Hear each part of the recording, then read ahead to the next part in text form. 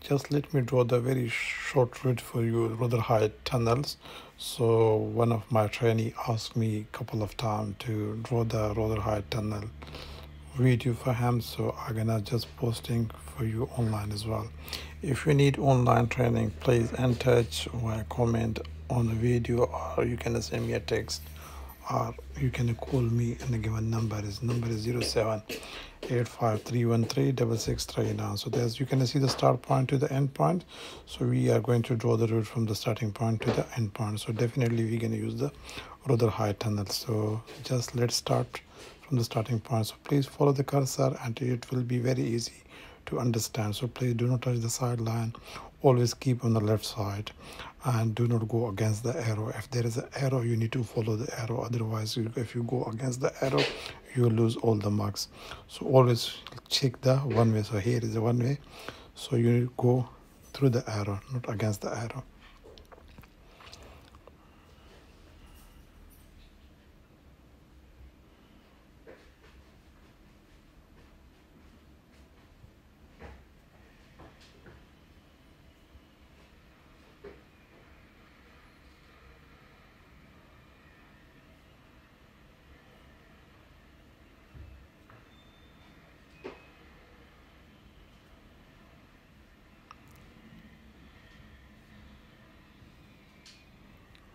I'm not using the Limehouse link tunnel, so I'm going to follow the main high road.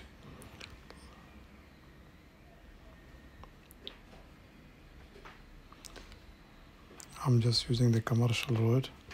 Then I will get into the tunnel approach. When I get there to the tunnel approach,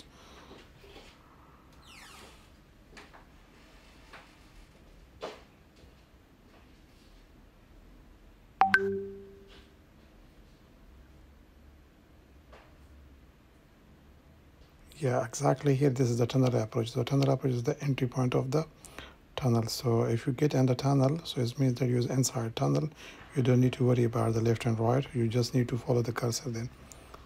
And the other side you will see the tunnel approach as well. So uh, from each side from the southern side or northern side there will be a tunnel approach. So you just need to follow the so please always make sure to keep on the left side. Do not touch the sideline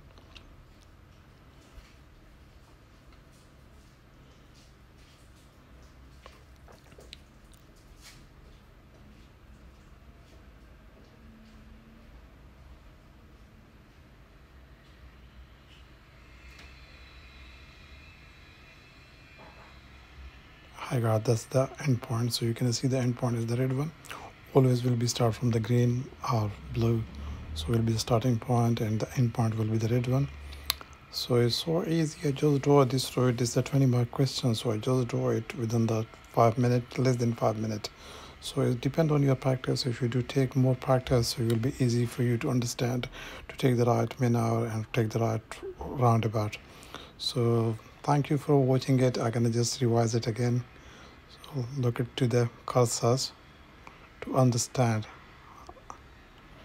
Still i'm telling you again if you need online training please and touch so just post the comment and i will come back to you. I'll share my details. So then we can arrange what time is easy for you. We can arrange online training. So it will be very easy for you if you take a couple of hours. So you will be able to pass the test. Thank you very much